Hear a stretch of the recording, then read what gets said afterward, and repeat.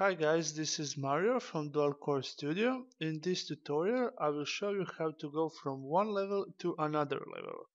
Here I have two scenes, level 1 scene and level 2 scene.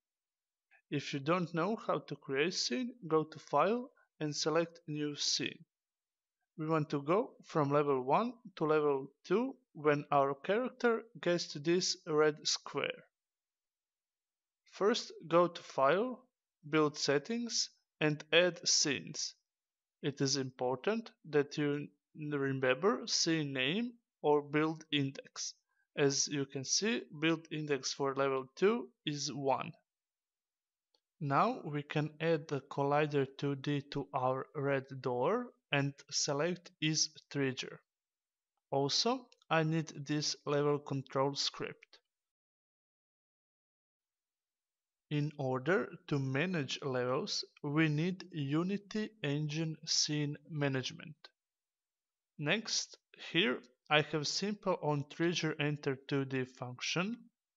If object that has tag player enters trigger, then this code will be called. So make sure that your player has tag that you need. You can add custom tag, but I will use player. There are two ways to load new level, with build index or with scene name.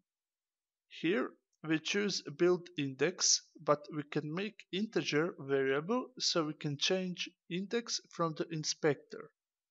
Also, we can make string variable to change name of the scene that we want to load.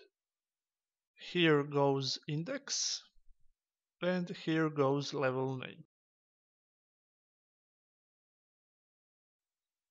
Make sure that level name variable is equal to your scene name.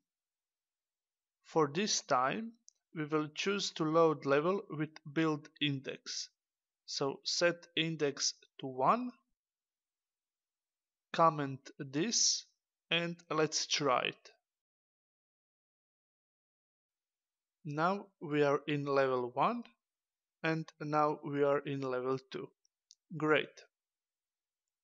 If you want to restart your level, you can use this uh, simple line of code. Let's try it. Level 1 and back to level 1. Great. In the next video, I will show you how to fade in and fade out between levels. Thanks for watching.